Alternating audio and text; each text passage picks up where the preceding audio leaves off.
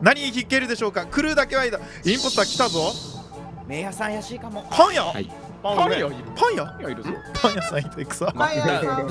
パン屋さんもいるんだ。じゃあ。えっとハンバーガー屋さんがパン屋さんに転職したわけではない。ない。ハンバーガー屋さんとパン屋さんが別に。いるパン屋さん。ハンバーガー屋さんはパン屋さんから仕入れてる。仕入れてる。可能性はあるパンはいくらぐらいで買えるの？それは。死んでたら死んでたら最後の空き情報出ないのやばすぎだろ。あパンは生きてる。中野アルマはパン屋じゃない。ドゼル殺しジミエあジミアシェリフ CEO しますーおいこいつマジ真央さんがずっとパン屋の話をしていてうるさかったので切りました。ふざけんなこいつマジで